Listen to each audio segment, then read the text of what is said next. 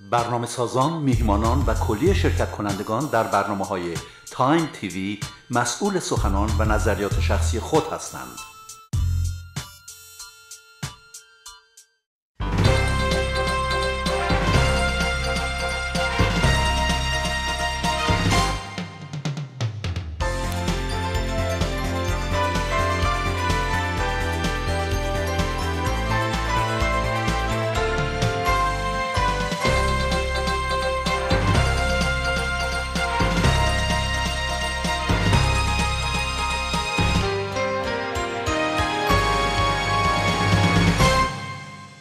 هستی بخش جهان خدمت خانم ها و آقایان هموطنان عزیز سلام عرض می کنم خیلی خوشحال و سپاسگزارم که بار دیگر در برنامه یک سینه سخن با شما راجع به مسائل مهم ایران صحبت می کنم امروز پنجشنبه 20 سپتامبر سال 2012 میلادی مطابق با سیوم شهریور ماه سال 1391 خورشیدی است. اجازه بدید قبل از که صحبت ما شروع کنم به یک نکته اشاره کنم و اونی که تعدادی زیادی از هموطنان عزیز ما که برنامه من رو محبت می‌کنن تماشا می‌کنن وقتشون رو به تماشای برنامه من اختصاص میدن برای من ایمیل فرستادن. من به همه ایمیل ها در حد امکان جواب میدم. ولی همین جلو جلو می‌خواستم از شما عذرخواهی کنم. اگر در جواب دادن به ایمیل یه مقدار تاخیر پیدا میشه گاهی موقع یا اینکه از بس حقیقت چه بخواین گرفتارم ممکنه چند روزی اصلا فراموش کنم که به ایمیل ها جواب بدم. ولی در حد توانم سعی می‌کنم که به همه ایمیل ها جواب بدم. این محبت شماست که برنامه من رو تماشا می‌کنید. محبت شماست که برای من ایمیل میفرستید. و اگر قولی در برنامه دادم که به عنوان مثال اگر برای من ایمیل بفرستید من لینک مقاله‌ای رو برای شما میفرستم حتما این کار رو خواهم کرد. در عین حال می‌خوام از شما تقاضا کنم که اگر هر گونه انتقادی نسبت به برنامه دارید لطف کنید به من ایمیل کنید در ایمیلتون بنویسید. من با کمال میل به انتقادهای سازنده شما گوش خواهم داد در نظر خواهم گرفت و سعی می‌کنم که اون انتقادها رو اگر هست برطرف کنم. به حال اجازه بدید که برنامه امشب رو طبق معمول با چند خبر مهم راجع به ایران شروع کنیم. امشب قصد دارم که قسمت اعظم برنامه رو به دنباله بحثی که هفته گذشته راجع به اعلامیه حزب کمله و حزب کردستان دموکرات کردستان ایران شروع کردم اختصاص بدم مهمترین خبر هفته گذشته سخنرانی آقای دکتر فریدون عباسی دوانی رئیس سازمان انرژی اتمی ایران و همطور مصاحبه ایشون با روزنامه الحیات بود. آقای دوانی آقای عباسی دوانی در سخنرانی که در پنجم چهارمین کنفرانس عمومی سازمان انرژی اتمی در وین ایراد کردند به شدت به آژانس بین‌المللی انرژی اتمی حمله کردند انتقاد کردند و آژانس رو متهم کردند که در برابر رفت ایران رفتاری تبعیض‌آمیز داره. ایشون در واقع یکی از مهمترین اتهاماتی که به آژانس وارد کردن این بود که تروریست ها و خرابکاران ممکنه به درون آژانس نفوذ کرده باشند و تصمیم گیری های آژانس رو مورد نفوذ خودشون قرار داده باشند البته واضح است که در زمانی که آقای زبانی که آقای عباسی به کار بردن تروریست ها و خرابکاران مقصودشون ماموران جاسوسی اسرائیل و غرب و همکاران ایرانیشون هست وگرنه واضحه که ایشون قصد واقعیشون تروریست به معنی فرض کنید تروریست القاعده یا تروریست های طالبان نبود. ایشون همطور گفتن که دو خرابکاری جدید در تاسیسات هسته ایران صورت گرفته. یکی در روز 17 ماه اوت یعنی ماه قبل در خطوط انتقال برق به تاسیسات غنیسازی فوردو در نزدیکی قم صورت گرفته. ما می‌دونیم که اگر جریان برق به سانتریفیوژ های که مشغول غنیسازی اورانیوم هستن به طور ناگهانی قطع بشه این سانتریفیوژ ها می‌تونن از کنترل خارج بشن و صدمات زیادی بهشون وارد بشه.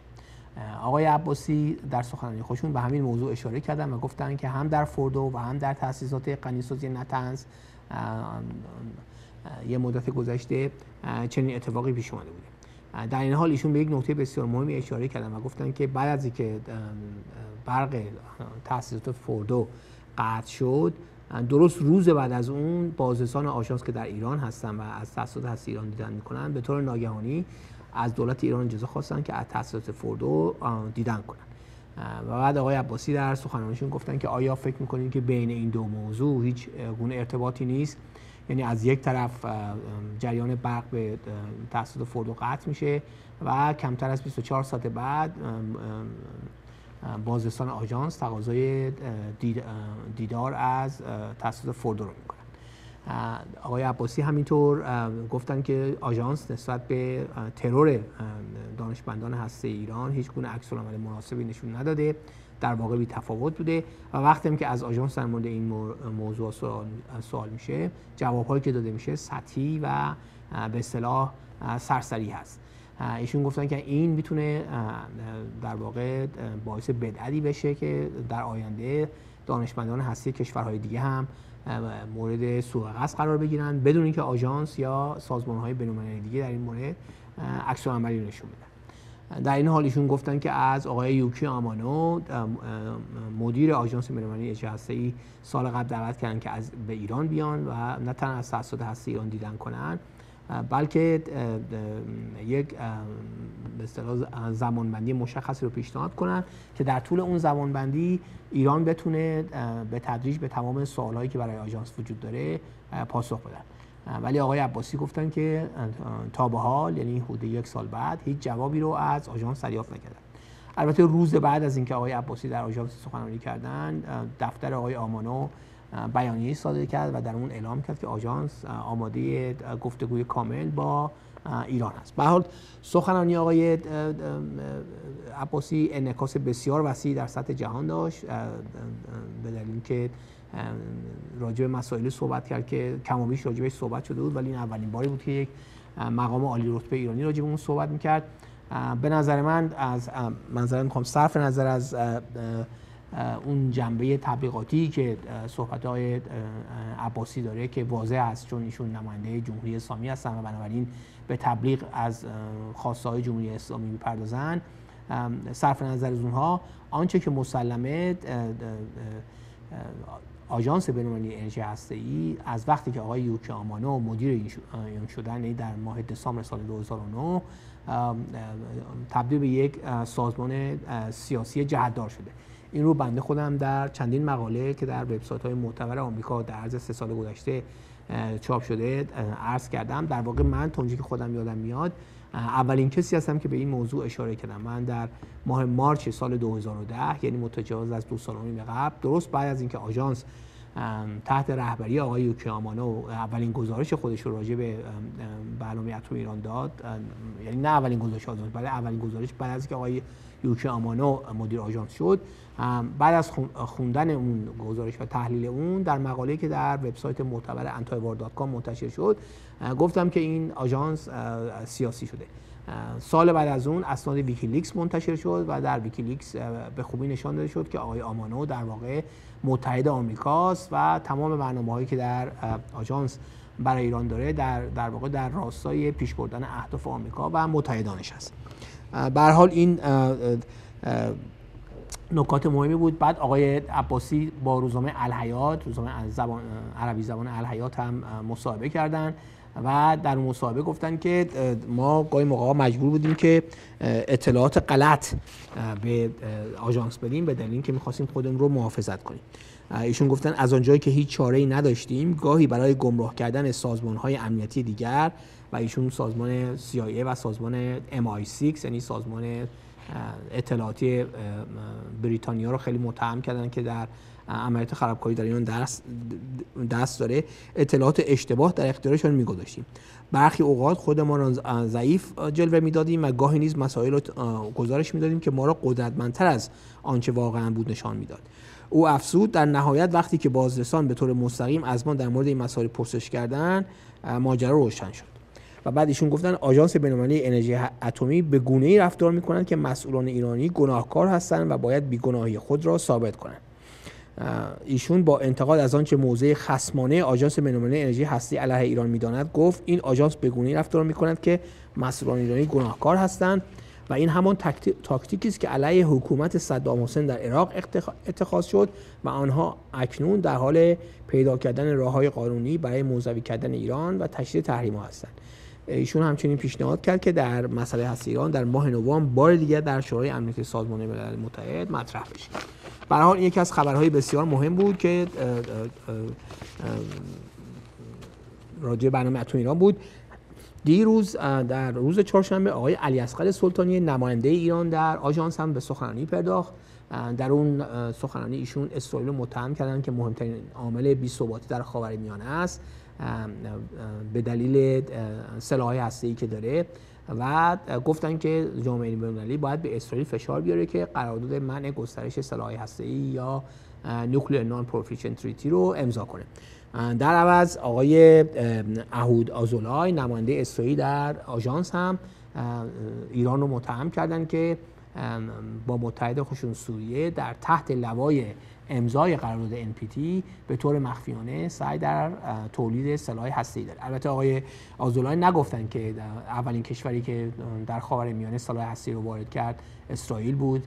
و نگفتن که تنها کشوری که در حال حاضر در خاورمیانه سلاح هسته‌ای داره اسرائیل هست و همطور به این موضوع اشاره نکردن که کارشناسان معتقدن که اسرائیل 250 تا 400 کلاهک هسته‌ای داره در حالی که ایران یا سوریه و یا هیچ کشوری در خاورمیانه حتی یک کلاهک هسته‌ای نداره. به حال این موضوع موضوعی بود که بسیار مورد توجه گرفت و وبسایت‌های مختلف راجع اون گزارش دادن.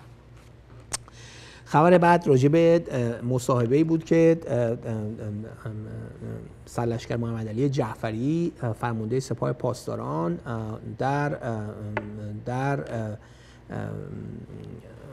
در تهران داشتن. قبل از که راجع به این موضوع صحبت کنم اجازه بدید که به ملاقات آقای سعید جلیلی مذاکره کننده اصلی هست ایران با خانم کاترین اشتون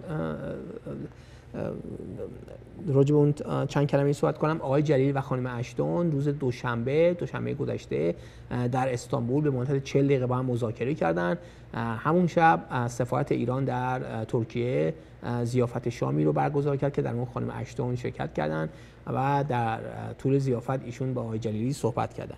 هم خانم هم آقای جلیلی و هم آقای اشتون گفتن که مذاکرات سازنده بوده. قرار شده که خانم اشتون در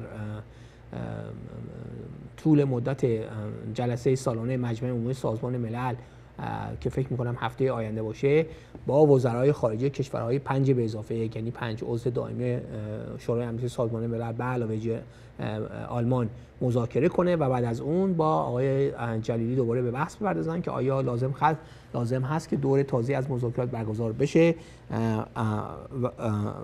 و یا نه. خب این هم خبر مهمی بود که در همون رابطه بود. خبر بعدی راجع به مصاحبه مطبوعاتی آقای سلشکر محمد علی جعفری فرمانده سپاه بود. سلشکر جعفری در مصاحبه که انجام دادن به چند نکته اشاره کردن. یکی از نکات جالب مصاحبه ایشون این بود که لحن ایشون خیلی محتاط آمیز بود. البته ایشون راجع به قدرت نظامی ایران حرفای بسیار زیادی زدن شاید لاف بسیار زیادی هم زدن.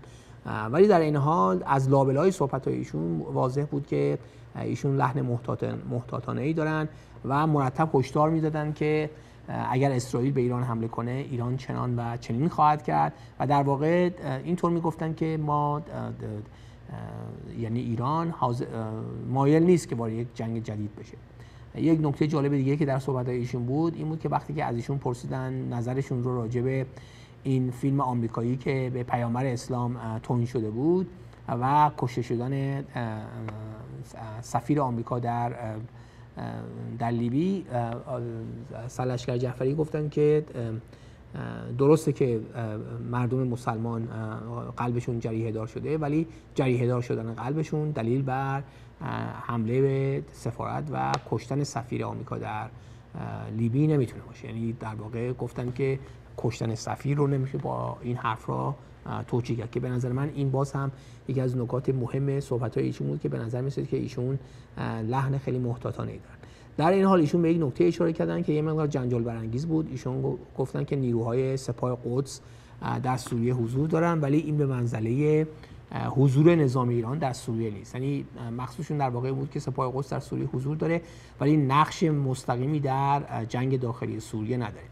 در این حال ایشون اشاره کردن که سپاه قدس در گذشته در هم در سوریه هم در لبنان بوده.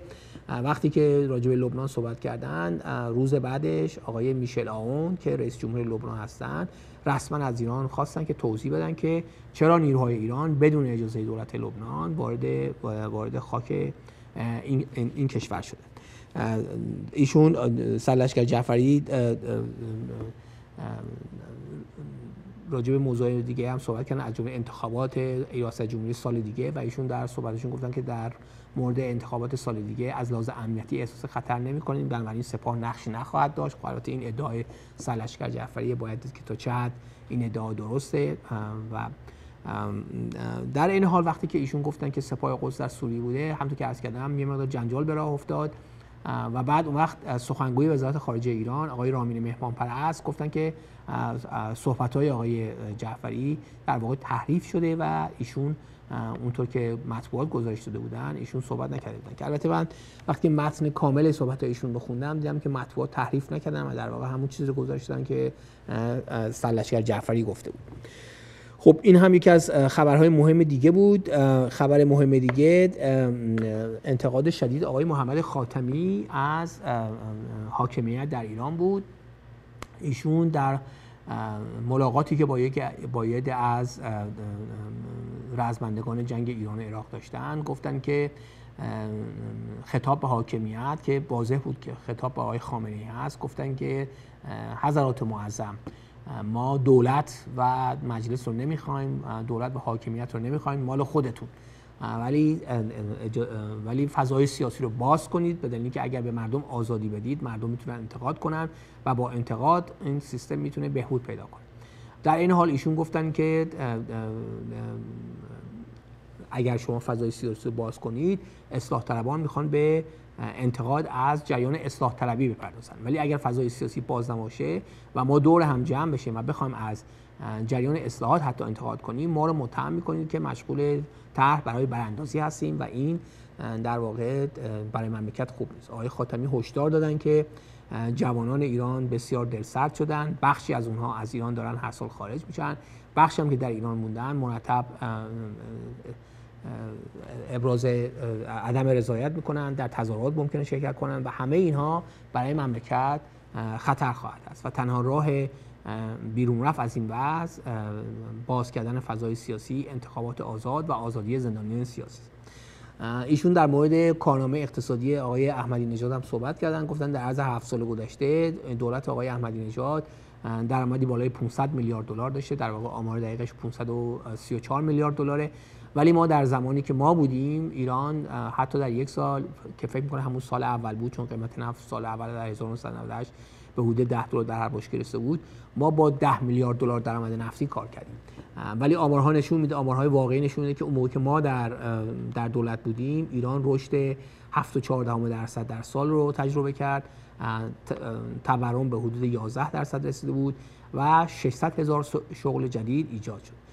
ولی حالا در این دولت با وجود درآمد 500 میلیارد دلاری رشد کمتر از دو درصد بوده تورم بسیار بالاست درصد بیکاری بسیار بالاست و ادعای دولت که تونسته دو میلیون شغل جدید ایجاد کنه نمی‌تونه درست باشه مگر اینکه معجزه اتفاق بیفته. جالب اینجاست که در صحبت آقای خاتمی دو نکته خیلی جالب بود به نظر من. اولا که صحبت ایشون رو روزنامه ها برای اولین بار منعکس کردن و خبرگزاری ها و حتی خبرگزاری فارس که وابسته به سپاه هست هم این, این صحبت ها رو گزارش داد. از حدود یک سال قبل حاکمیت یک سال نیم قبل حاکمیت گزارش صحبت های آقای خاتمی و حتی چاپ کردن عکس ایشون رو در مطبوعات و وبسایت ها ممنوع کرد ولی این بار صحبت های ایشون منعکس شد تصویر ایشون هم نشون داده شد. همطور که از کردم حتی وبسایت ها و خبرگزاری هایی که وابسته به تندروها و بنیادگرایان هستند و این نشون می‌داد که در واقع حاکمیت با آقای خاتمی شاید سعی می‌کنه که وارد تعامل بشه. نکته دوم این بود که بعد از که آقای خاتمی آمارهای اقتصادی رو دادن از سخنگوی وزارت اقتصاد دولت آقای احمدی نژاد خواستن که به این صحبت آقای خاتمی جواب بده ولی اینها هیچ کدوم جواب ندادن. وقتی از خود آقای احمدی نژاد پرسیدن گفتن قرار نیست که هر کس در این مملکت حرف زد بنده جواب بدم و بالاخره سخنگوی دولت معذرت می‌خوام سخنگوی وزارت اقتصاد و همینطور خبرگزاری فارس که مال سپاهه گفتن که دولت در واقع توانایی پاسخ دادن به صحبت های خاتمی رو نداره. یعنی پاسخ لازم رو نمی‌تونن بدن چون در واقع به این موضوع اعتراف کردن که صحبت های آقای خاتمی در این مورد درست بوده. در این حال آیت الله ناصر مکارم شیرازی که که از مراجع تقلید هستند و معمولا متحد دولت هستند و از آیت الله های محافظه‌کار هستند در صحبت که امروز در قم داشتن گفتن که صبر مردم داره به انتها می‌رسه مردم صبرشون بی‌نهایت نیست وضع اقتصادی بسیار خرابه فساد بالا گرفته و اگر این وضع ادامه پیدا کنه برای مملکت خطرناک خواهد بنابراین وقتی شما می‌بینید که یک روحانی مثل آقای مکارم که همیشه در واقع از دولت حمایت کردن این چنین میپرده و این چنین واضح صحبت می‌کنه. واضحه که اوضاع اقتصادی مملکت شاید حتی خرابتر از اونی باشه که من و شما از راه دور یا حتی اقوام ما در ایران از نزدیک مشاهده می‌کنه. خب این هم یک خبر مهم دیگه بود. خبر دیگه این بود که چهارشنبه آقای میر حسین موسوی نخست وزیر سابق و رهبر جنبش سبز دوباره به بیمارستان رفتن و چند ساعتی در بیمارستان بودن برای بیماری قلبیشون. همونطور که خاطرتون هست در همین برنامه من چند هفته پیش گزارش دادم که آقای موسوی رو به بیمارستان بردن. مورد عمل جراحی قلب سه ساعته قرار گرفتن که در عرض اون سه ساعت یک استنت رو در یک از رکای ایشون که دچار گرفتگی شدید بود گذاشتن. ولی بدونی که به ایشون اجازه بدن تا دوران نقاهت رو در بیمارستان بگذرونن ایشون رو بلافاصله به منزل برگردوندن. گزارش جدید حاکی بر اینه که آقای موسوی دوباره به بیمارستان رفتن تا اون استنتی رو که در رگ ایشون گذاشته بودن دوره دوره دوباره مورد معاینه قرار بگیره و به نظر می‌رسه که حال عمومی ایشون خیلی خوب خواهد خیلی خوب هست. ایشون دوباره به منزلشون و تحت حبس خانگی برگردونده شدن. خب این هم یک خبر مهم دیگه بود. اجازه بدید که چند خبر حقوق بشری راجع به خدمت شما عرض کنم. یکی احوال آقای ایسا سرخیز روزنامه‌نگار برجسته ایرانی هست. آقای ایسا سرخیز همطور که می‌دونید از سه سال قبل بعد از انتخابات دستگیر شدن و در زندان هستند ایشون یکی از شجاعترین و والاترین نه تنها روزنامه نگارانی هستن بلکه از هموطنان ما هستن. من شهر زندگی ایشون رو نوشتم در وبسایت تهران بیرو هست و من با وجود که ایشون رو هیچ در زندگی ملاقات نکردم به ایشون برای ایشون احترام بسیار زیادی قائلم و همیشه اوضاع ایشون رو دنبال می‌کنم. ایشون مدت شش ماه در بیمارستان بستری بودن جز ملاقات نداشتن. انواع اقسام بیماری ها هم داشتن که من اینا اینا اینجا نوشتم که همه را خدمت شما بخونم چون میترسیدم همش یادم بره. ایشون بیماری قلبی دارن نارسایی کلیه دارن فشار خون دارن دیسک کمر و گردن دارن و قدرت های فوق کلیوی در بدن ایشون فعال شده که این می‌تونه باعث سر بسیار زیادی بشه. ایشون مدت زیادی در اعتصاب غذا به سر می‌بردن به دلیل اینکه وقتی که کنفرانس کشورهای غیر متحد در تهران برگزار شد ناگهان ایشون رو از بیمارستان به بند 350 زندان اوین برگردوندن. ایشون به اعتصاب غذا رفتن. مدت زیادی در اعتصاب غذا بودن و بعد آقای محمد خاتمی به ایشون نامه نوشتن و از ایشون خواستن که به خاطر مردم ایران و به خاطر حفظ ایشون برای آینده دست از اعتصاب غذا خودشون بردارن که ظاهرا ایشون دست از اعتصاب غذا برداشتن و و به اعتصاب غذا خودشون پایان دادن. اخیرا ایشون رو مثل اینکه دوباره به بیمارستان بردن تا معالجاتشون در بیمارستان ادامه پیدا کنه. در همین رابطه در رابطه با حقوق بشر آقای احمد شهید نماینده مخصوص سازمان ملل در مورد حقوق بشر امروز گزارش رو منتشر کردن که در اون به وضع های مذهبی در ایران به شدت انتقاد شده بود. ایشون گفتن که های مذهبی در ایران به شدت تحت فشار هستند به خصوص در گزارششون ایشون به این موضوع اشاره کردن که 300 مسیحی ایرانی در عرض دو سه سال گذشته به دلیل نامعلوم دستگیر شدن و مدتی در زندان بودن که مدت اون از یک ماه تا یک سال بود. در این حال ایشون در بیانیه‌ای که صادر کردن و در گزارشی که دادن از اینکه آقای یوسف ندرخانی که یک کشیش ایرانی بود و سه سال در زندان بود آزاد شدن ابراز خوشبختی کردن. آقای ندرخانی برای اونهایی که نمی‌دونن عرض کنم که ایشون وقتی 19 ساله بودن از اسلام مسیحیت گرویدن و به یک کلیسای مسیحی در شهر رشت در استان گیلان پیوستن. سه سال پیش ایشون دستگیر شدن به جرم ارتداد یعنی از دین اسلام برگشتن و تبلیغ مسیحیت کردن و به اعدام محکوم شدن. ولی دادگاه و دادگاه دیوان عالی کشور هم حکم اعدام ایشون رو تایید کرد مگر اینکه ایشون ابراز ندامت کنند. ولی این موضوع در سطح جهان عکسالعمل بسیار شدید رو برانگیخت. بالاخره دیوان عالی کشور مجبور شد که از آقای خامنه ای نظر ایشون رو بخواد. ظاهرا آقای خامنه ای در پشت پرده گفته بودن که ایشون نباید اعدام بشن. و جرم ایشون رو از ارتداد به تبلیغ برای مسیحیت عوض کردن. سه سال هم به ایشون زندانی دادن چون ایشون سه سال در زندان بودن و بالاخره ایشون آزاد شدن. جالب اینجاست که علمای دین اسلام دست کم اونهایی که مترقی تر هستن مترقی هستن همیشه گفتن که عوض کردن مذهب فرض کنید از اسلام به مسیحیت اگر با اطلاع باشه جرم نیست. هر کسی بنا, به تشخیص خودش و بنا به آگاهی خودش می‌تونه دینش رو عوض کنه. مهم اینه که یه نفر به خداوند معتقد بشه. به حال همونطور که آقای احمد شهید در گزارششون گفتن به جز آقای یوسف ندرخانی 300 مسیح دیگری هم در ایران دستگیر شدن. یکی از نکاتی که حاکمیت موقع بهش اشاره نمی‌کنه که اگر فرض کنید یه از ایرانیان دین اسلام خودشون رو رها کردن با وجود در خانواده مسلمان به دنیا اومدن در خانواده مسلمان بزرگ شدن. چرا اینجوره؟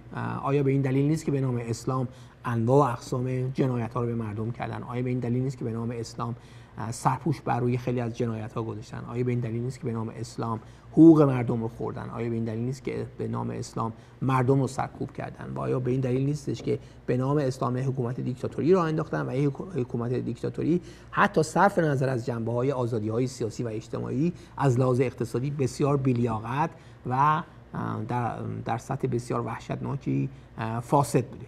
و همه اینها باعث میشه که خب اون جوانهای ما که می‌تونن هم خیلی مسلمانان مؤمن و خیلی خوب باشن دلزده بشن از دین اسلام و اگر هنوز به مذهب معتقدن به یک مذهب دیگه گرایش پیدا کنن.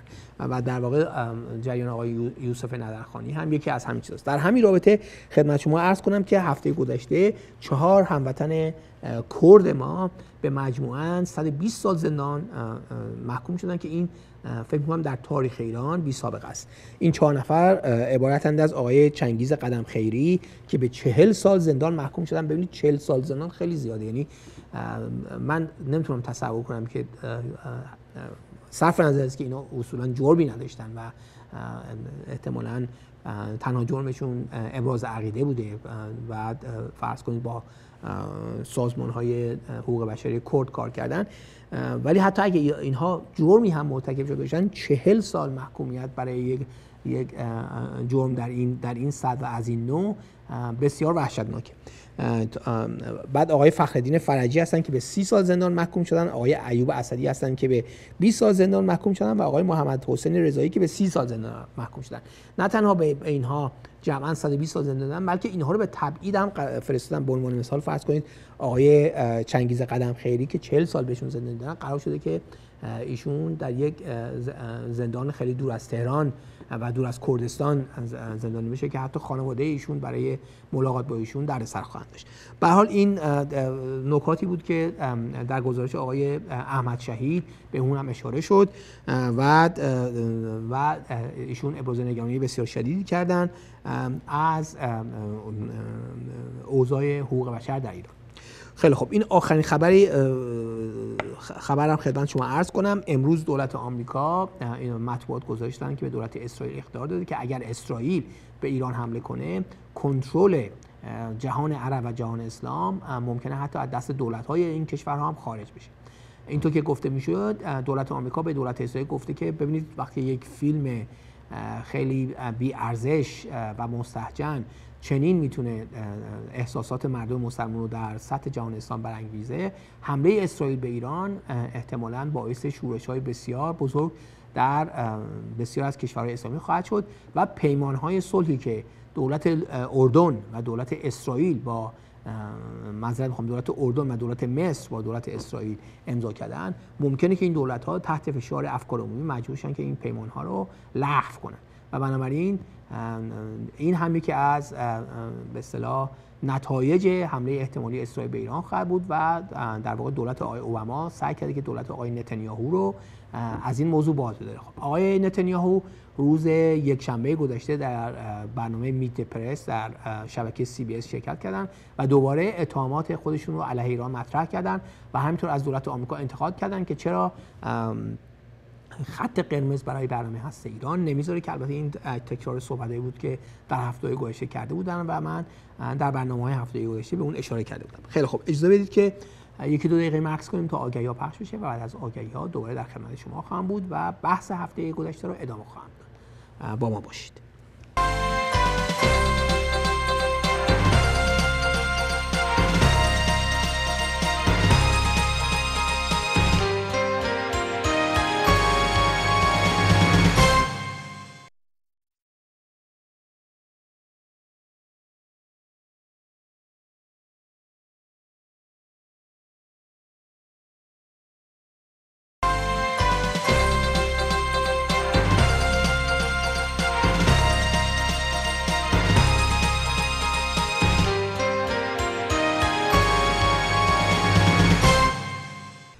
خیلی خب می‌خوام با مونده برنامه امشب رو به ادامه بحث هفته گذشته اختصاص بدم. هفته گذشته اگر خاطرتون باشه راجع به بیانیه مشترک حزب کمله و حزب دموکرات کردستان ایران صحبت کردم.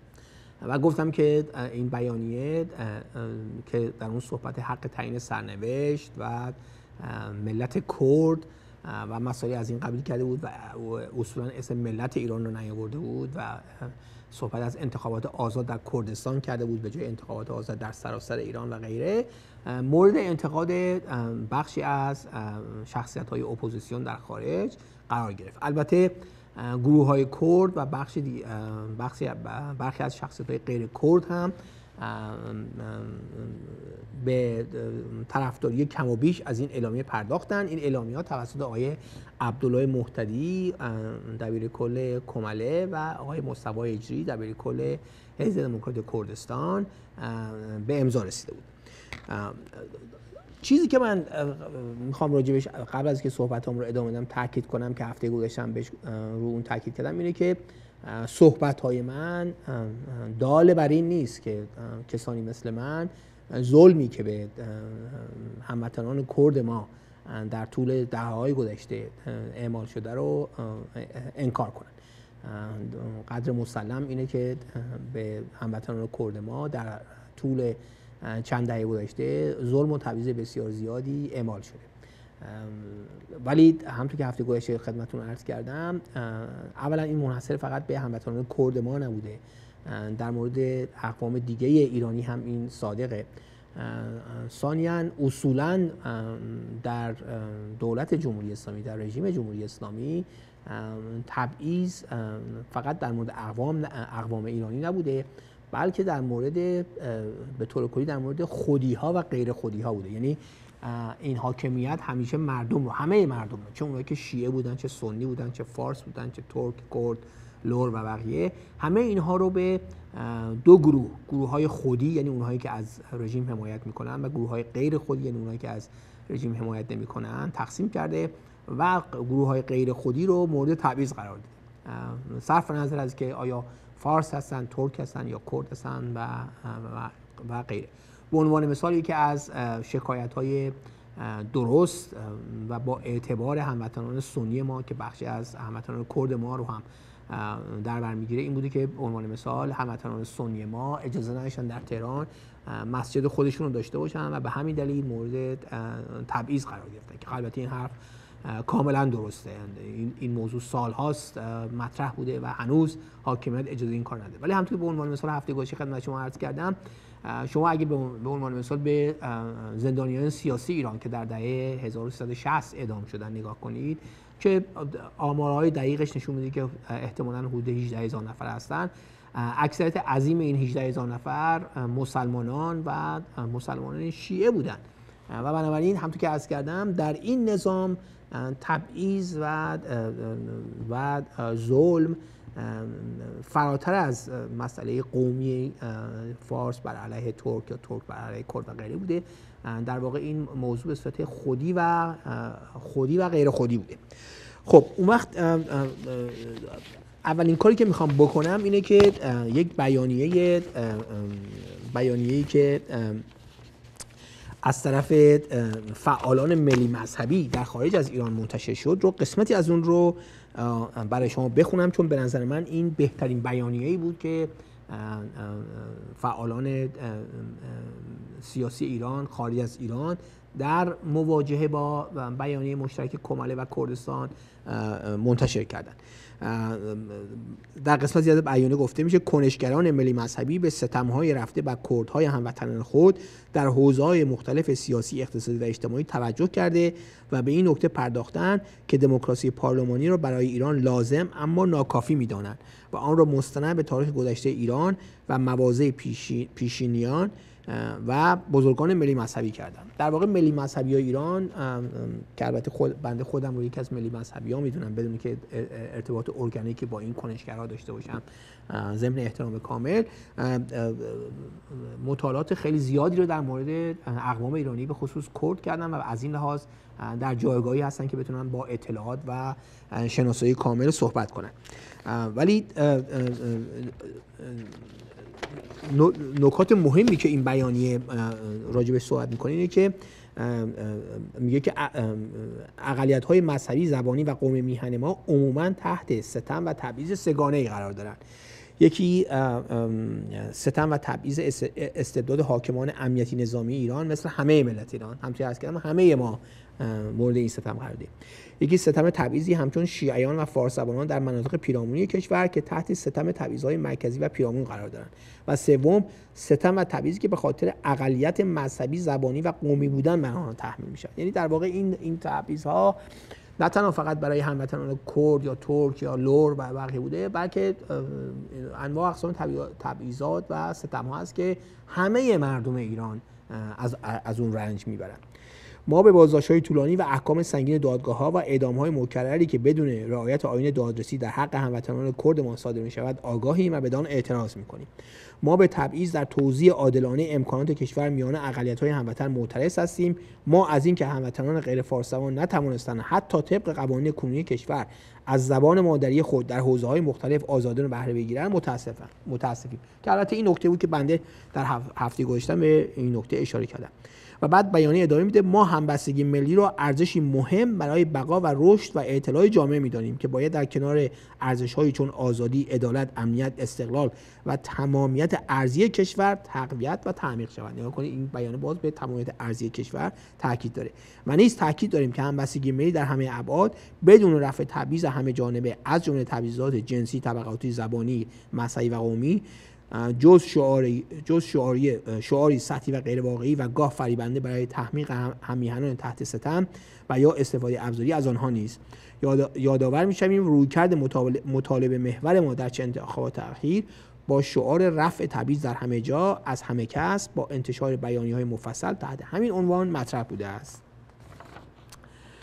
و بعد اون وقت ایشون و بعد این بیانیه اشاره می‌کنن که ما به نگاه ملی و نگاه استراتژیک برخی از جریانات کرد و رهبران دموکراسی خواه و عدالت طلب آنان که به مسائل کلان و ملی ایران توجه داشته و به لحاظ استراتژیک نیل به حقوق قومی خود را در روند تحول خواهی عمومی و کلان ملی می‌بینند علا رقم برخی تفاوت های نظری و سیاسی احترام می‌گذاریم. که این صحبت هم بود که بنده باز هفته باشه مطرح کردم. یعنی در واقع این رفع ستم از هموطنان کرد ما یا هموطنان دیگه ما که جز اقلیت های قومی هستند در چارچوب اون تحول خواهی و دموکراسی خواهی برای کل ملت ایران می‌تونه قرار بگیره. و اینا همه در واقع یک روند باید داشته باشن. نه اینکه بر طبق اعلامی که کمله و حزب دموکرات منتشر کردن فقط راجع به انتخابات آزاد در کردستان صحبت کنیم و نه در انتخابات آزاد در بقیه.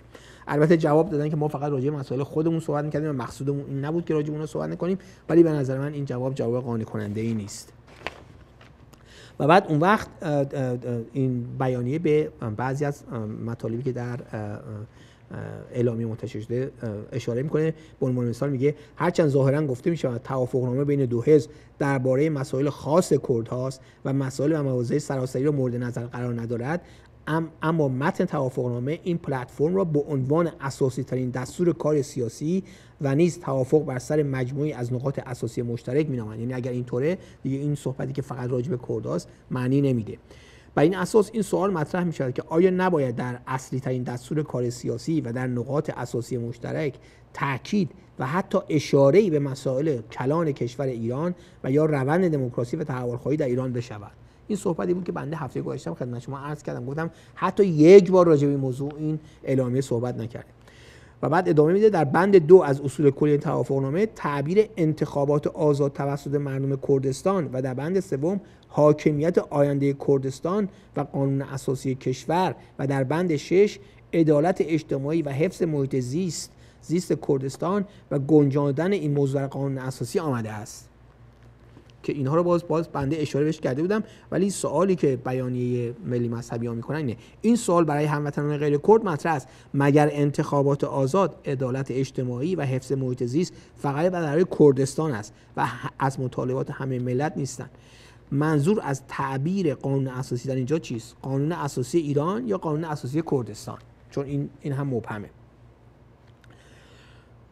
و بعد اون وقت در بند سه میگن هر گونه مداخله از جانب یکی از بخش‌های کردستان در امور سایر بخش‌ها سیاستی نسنجیده و زیانبار است. ما ضمن تقدیر از این تاکید بر نفی مداخله در امور دیگری تعبیر بخش های کردستان را مبهم و سوال انگیز می‌دانیم هم توی از کردم خانم ناهید بهمنی همسر آقای عبدالله محتدی که خودشون ظاهرا یکی از فعالان حقوق خانم های کرد هستن گفتن که یکی از اهداف نزدیکی به بخش های دیگه کردستان بزرگ یعنی کردستان عراق سوریه و و ترکی که این بیانیه میگه این این موضوع این موضوع مبهمه. و بعد اون وقت بیانیه میگه که آیا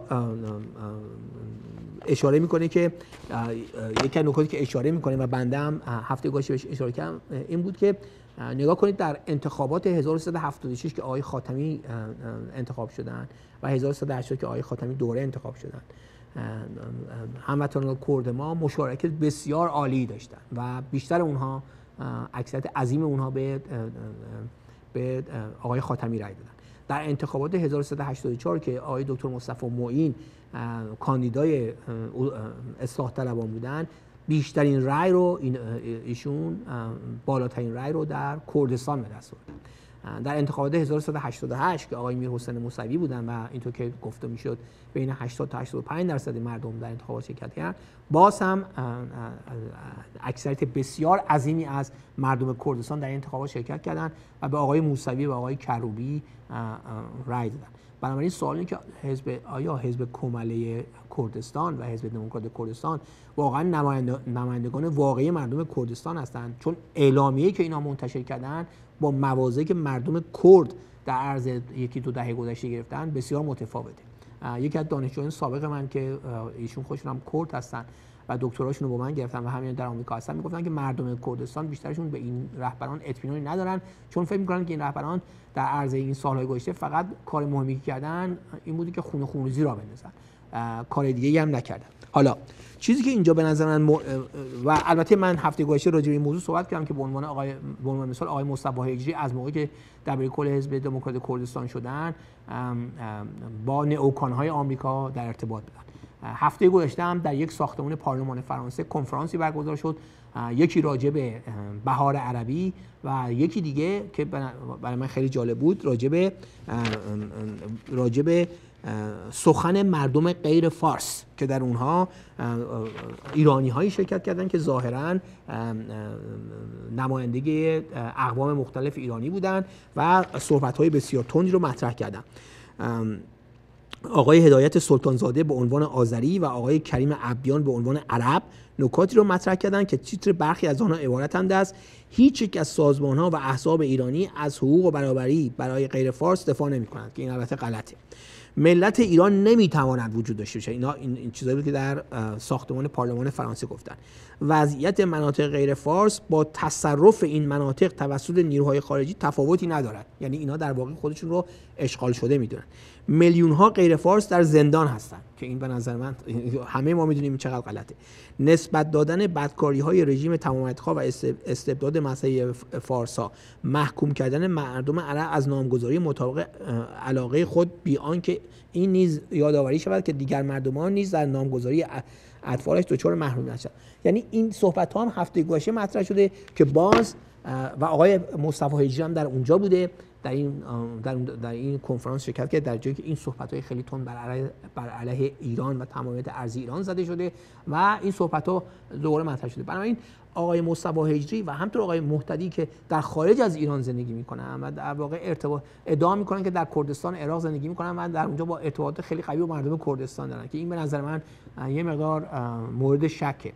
نه تنها همونطور که عرض کردم در این انتخابات چند سال گذشته مردم کردستان شرکت بسیار بالایی سطح بالایی در انتخابات مهم داشتن و همیشه به اصلاح طلبان رأی دادن.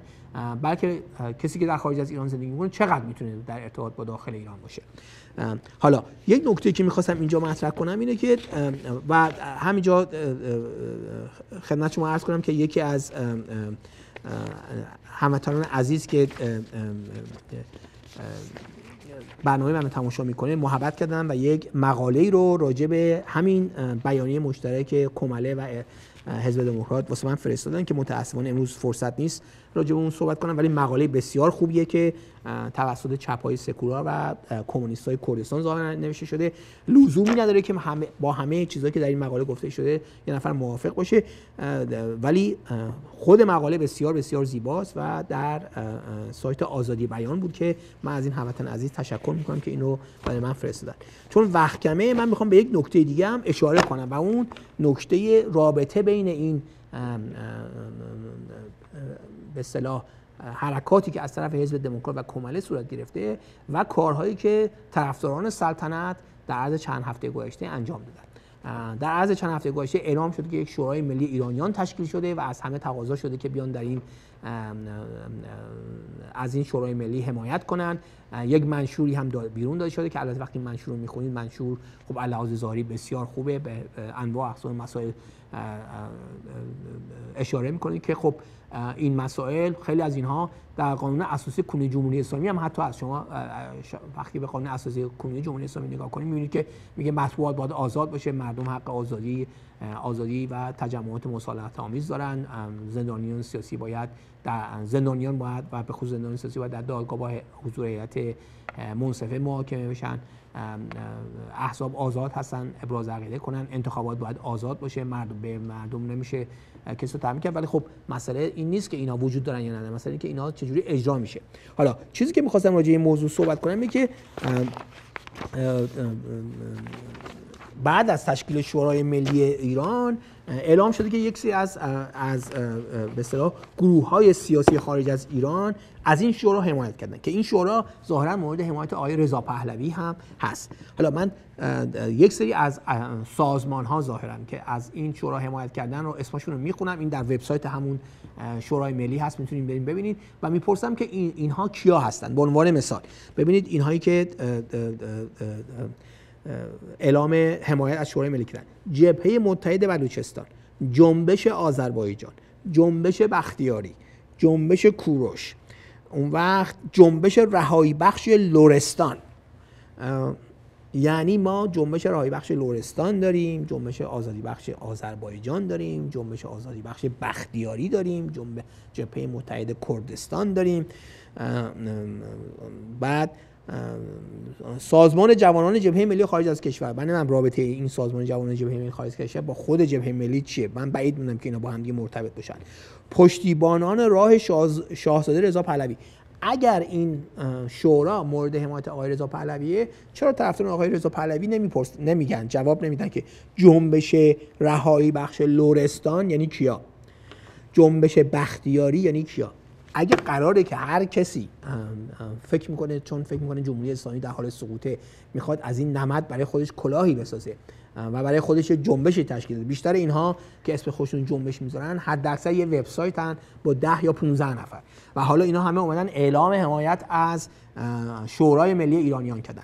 یک حتی یکی از گروه های سیاسی که تا حدودی قابل اعتبار باشه و ریشه داشته باشه از قدیم وجود داشته از این حمایت نکرده. ولی چیزی که مسلمه که آقای رضا پهلوی در صحبت هایی که در عرض یک سال گذشته کردن یک سال یک سال گذشته کردن که مورد انتقاد شدید برخی از سلطنت طلبان از جمله زندیات داروش همایون هم قرار گرفتن این بود که ایشون از فدرالیسم در ایران حمایت کردن. یعنی در واقع همون بحثی رو که این اعلامیه مشترک کمله و کردستان مطرح می‌کنه آقای رضا پهلوی هم مورد حمایت قرار دادن که این مورد انتقاد شدید سلطنت طلبایی که به آقای داروش همایون به عنوان رهبرشون نگاه می‌کردن قرار گرفت خود آقای داروش همایون هم به شدت از آقای رضا پهلوی در این مورد انتقاد کردن و حالا در این بلبشویی که راه افتاده کاری که کردن این اینه که اعلام می‌کنن که این و, یا اون سازمان سازمان از شورای ملی ایران حمایت می‌کنه من دنبال یک یاد داشتم میگردم که می‌خواستم برای شما بخونم. جالب اینجاست که اینها در پیدا نمی‌کنن. در وبسایتی که گذاشتن علاوه بر این جنبش های معجول یعنی مثل جنبش رهایی بخش لورستان جنبش بختیاری جنبش آذربایجان جبهه متحد بلوچستان جنبش کوروش سازمان دموکراتیک پارسان هم تو که از اینا همه وبسایت های 5 یا 10 نفره حد اکثر هستن اینها لیست یه سری تلویزیون ها هم دادن. تلویزیون اندیشه به نظر میاد که مثلا فرض کنید تلویزیون اندیشه فکر می‌کنه که دارای یک پایگاه مردمی در ایران هست. و بنابراین چون چند تا برنامه داشت که مردم در ایران ممکنه تماشا کنن اینها دارای پایگاه مردمی هستن و هواخواه دارن و بنابراین اعلام حمایت تلویزیون اندیشه از چنین شورایی مهم است. همه اینها در راستای اینه که برای مردم ایران در داخل ایران آلترناتیو سازی کنن. همه اینها اینا به همگی دارن امتیاز میدن تا به اصطلاح از خارج برای مردم داخل ایران دولت تعیین کنن. بنابراین ما به عنوان ایرانی چه کرد چه ترک چه عرب چه لر چه هرچی وظیفه داریم که جلوی اینها وایسیم. اینها خطر بزرگی برای ایران هستن. این کارهایی که آقای رضا پهلوی می‌کنه و این شورای ملی که به این صورت تشکیل شده که هیچکس حتی سوال نمی‌کنه که اینهایی که اومدن اسم خودشون اونجا گذاشتن کیا هستن که ادعای حمایت از اینها می‌کنن؟ مثل جنبش رهایی بخش لورستان یا جنبش بختیاری. اینها همه ضربه هایی است که اینها دارن سعی می‌کنن به جنبش مردم ایران بزنن و, و مطمئن باشین که اینها در خارج به اون گروه های سیاسی به خصوص در آمریکا که سالهاست راجع به تجزیه ایران و تکه پاره کردن ایران صحبت می‌کنن متصل هستن. بذارید در پایان برنامه یک کوت رو بیارم. در سال 2003 یک صحبتی مطرح شد که این رو به آقای اریل شارون نخست وزیر سابق اسرائیل نسبت دادن. البته من این رو نتونستم تا به تایید کنم. ولی این صحبت مطرح شده. اینطور که میگن آقای اریل شارون نه سال پیش گفته بوده که ایران حتی اگر 100 درصد دموکراتیک باشه چون کشور خیلی بزرگیه برای اسرائیل یک خطره. این صحبتی که نئوکان هم در ایران در آمریکا سالها مطرح می‌کنن و میگن که ایران رو باید از ضعف ایران که تعبیر اونا ضعف اقوام مختلف ایران استفاده کرد و این رو تکه تکه کرد تا بتونن ایران رو کنترل کنن.